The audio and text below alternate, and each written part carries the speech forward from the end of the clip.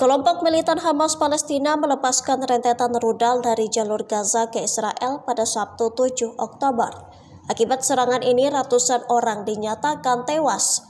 Serangan Hamas itu pun langsung mendapat balasan dari Israel. Serangan itu bahkan membuat menara 14 lantai di pusat kota Gaza rata dengan tanah. Tentara Israel mengatakan pasukannya menyerang rumah kepala intelijen Hamas di jalur Gaza. Netanyahu menjanjikan balas dendam hebat dengan menghancurkan kekuatan Hamas. Mayor Jenderal Israel Ghassan Alian mengungkapkan bahwa Israel akan habis-habisan membalas Hamas.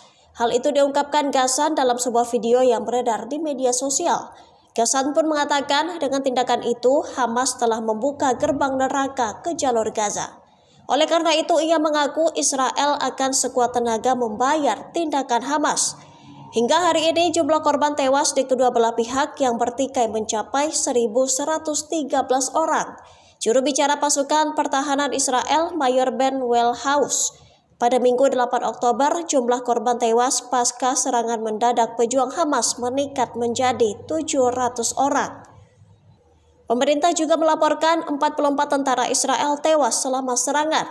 Sementara laporan BBC menggambarkan dari pihak Palestina 413 orang tewas setelah Israel meluncurkan serangan balasan di Gaza. Download Tribun X sekarang, menghadirkan lokal menjadi Indonesia.